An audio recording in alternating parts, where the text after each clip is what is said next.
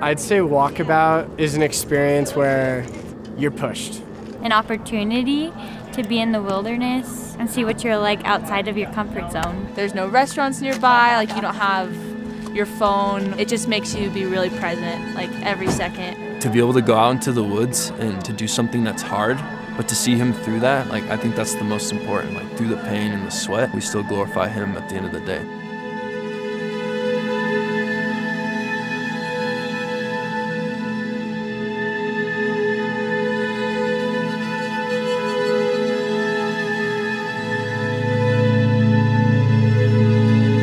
So, let me throw out some possible new names for Walkabout because uh, I've been listening to you guys talk. Um, I've heard Smoke About, No Solo About. I heard Half About. It's really interesting. In some ways, I felt like tonight we had to at least acknowledge it's been an interesting walkabout, right? Would you agree with me? Oh my. We got a bed. That was the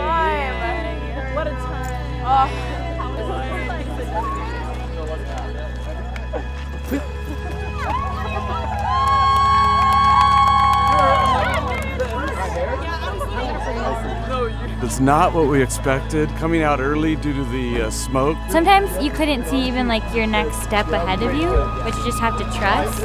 I wish you guys had a picture of us wearing our masks, like in a line. It looks like we were doing containment control.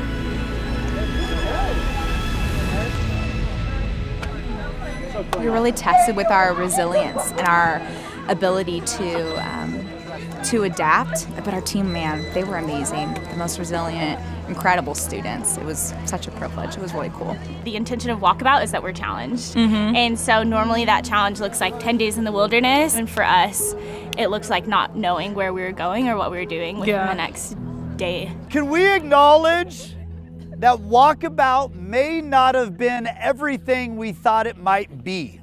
We all come in with expectations, and I don't think that's a bad thing. But I think the best expectation is that God is going to work, and I'm going to keep my eyes wide open so I can join in on it. A lot of seeing God at work was through people. I think people really exemplified characteristics of Christ, like humility um, and compassion towards one another to really serve each other. We're doing the, the classic APU life stories, and then as a team, we would get together and lay hands on that person and pray for them, which was so powerful and like in this darkness underneath the stars. I think they truly figured out how to trust each other and to give that trust to one another.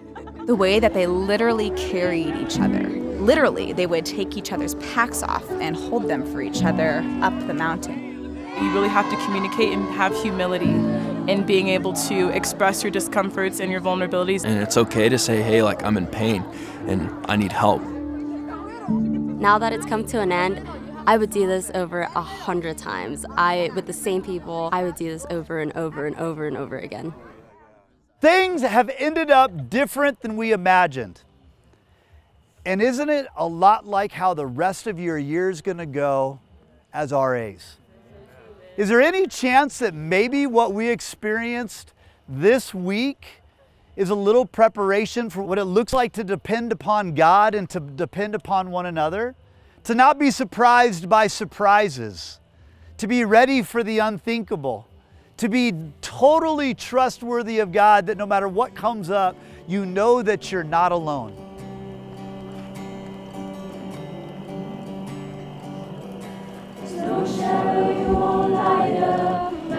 You coming after me. You won't kick down, lie you won't tear down, coming after me. Shadow you won't light up, mountain you won't climb up, coming after me. There's no wall you won't kick down,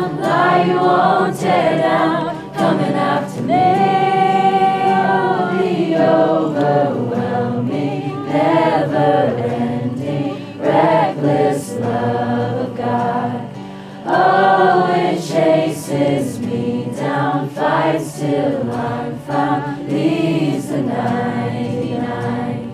I couldn't earn it, I don't deserve it, still you give yourself away.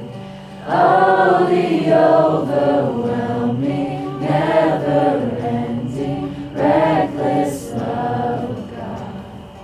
Oh, the overwhelming.